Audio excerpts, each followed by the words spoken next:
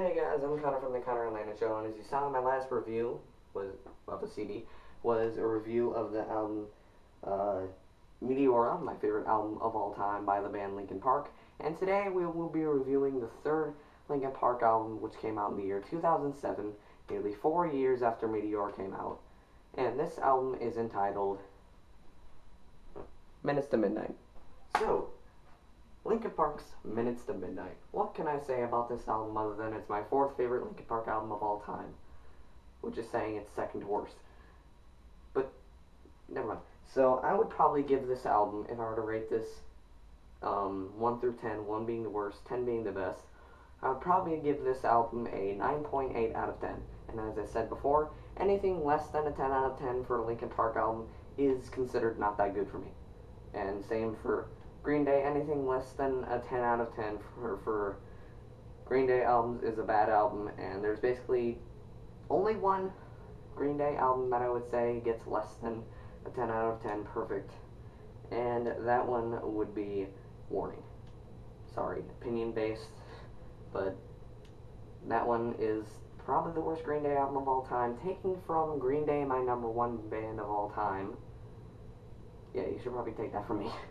in the booklet of this of this CD, well, first off, I gotta show you the front cover. The front cover is, of course, Linkin Park, Minutes to Midnight, and and this is unlike any other Linkin Park album in any well Linkin Park album. Same with Green Day. This is the only Linkin Park album that that has all six members in on the front cover of the CD and on the back too. So that's a little fun note you can take by yourself. And if you're wondering what that little area is right here, that's my mom's fault.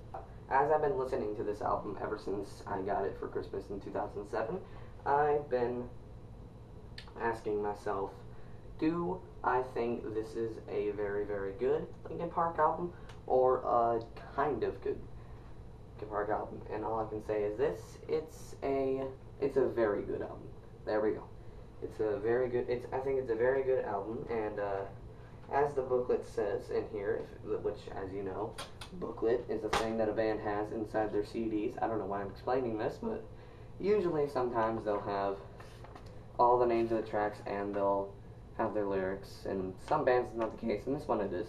But the fun thing that I like about this is that in the front thing in the beginning of Minutes to Midnight and the booklet, they said, they said, and I quote, as this is written, the album is not yet finished. No cover art has been chosen. We are through mixing and mastering the album. It is safe to say, however, this will prove the kind of a different kind of album for us.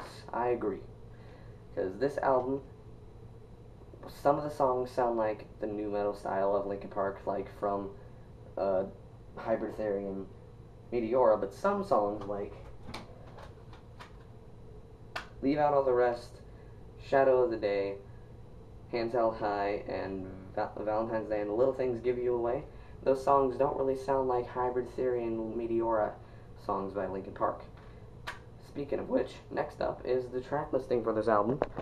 So the tracks on this album are Wake, Given Up, Leave Out All the Rest, Bleed It Out, Shadow of the Day, What I've Done, Hands Held High, no More Sorrow, Valentine's Day, In Between, In Pieces, and The Little Things Give You Away.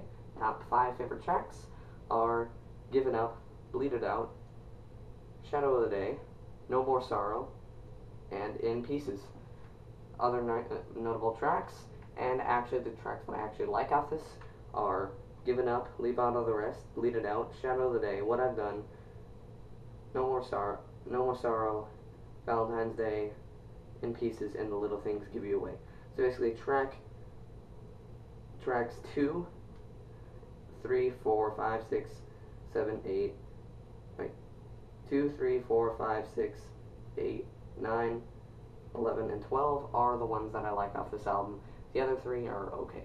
And also we get to see right here, we get to see the CD disc for this album.